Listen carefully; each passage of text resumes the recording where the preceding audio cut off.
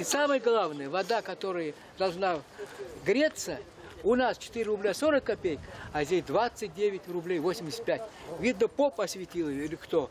Где они эту воду взяли? Иван Анискин объясняет жителям дома, насколько завышена цена на воду в их районе. Разбирается с проблемой пенсионер только с начала этого года. Вода горячая, почти на, наполовину дороже.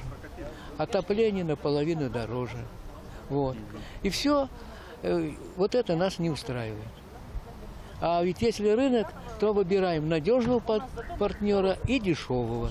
С проблемой пенсионер обратился в администрацию. Там ему дали ответ, что от нынешней котельной их могут отключить уже через год или два. Но пока не принята новая схема теплоснабжения, в которой будет определен поставщик тепла и горячей воды в этом районе. Надо принять схему теплоснабжения. Все крупные города в стране приняли, некоторые пять лет назад приняли Красноярск.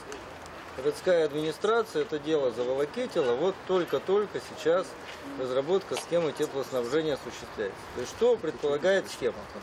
Надо оставить те котельные, где самая хорошая экология, самый низкий тариф и самая надежная мощность. Начальный вариант схемы теплоснабжения предполагал замещение котельной «Фармэнерго», но потом этот документ решено было доработать.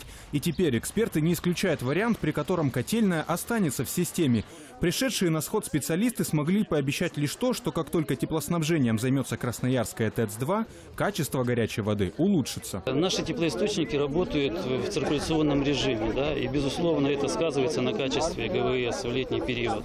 И, и если в случае э, жители улицы Саянской будут подключены к нам, мы надеемся, что качество э, ГВС будет точно такое же, как и у других потребителей наших. Депутаты Горсовета пообещали проконтролировать этот и другие вопросы, связанные с жилищно-коммунальным хозяйством, высказанные на сходе.